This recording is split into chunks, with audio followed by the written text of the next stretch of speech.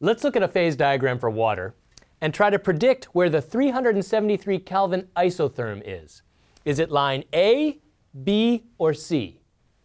Think about that for a minute and make a selection.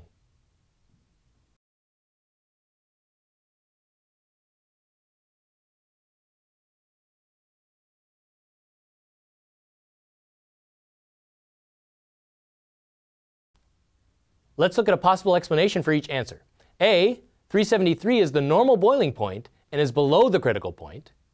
B, 373 is the normal boiling point, which must be at the critical point. Or C, 373 is a boiling point, so it must be above the critical point. Think about those three explanations and make a selection.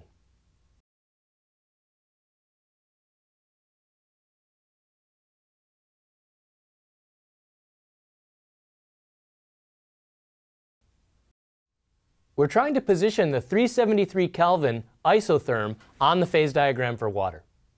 Now, the 373 isotherm is 100 degrees Celsius, so that's the normal boiling point. The normal boiling point is the transition between the liquid and the gas water. So if there are two phases present, I must be below the critical temperature. Remember, the critical temperature, the definition is above the critical temperature, I have a single phase, regardless of the pressure.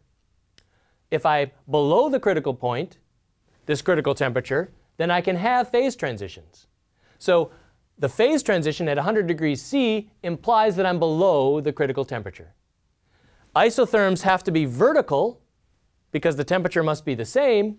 So this phase transition from liquid to gas is induced by decreasing the pressure. If you decrease the pressure, you go from liquid to gas. Or if you increase the pressure, you go from the gas to the liquid. So the correct answer here, the 373 isotherm for water, is A here on the phase diagram.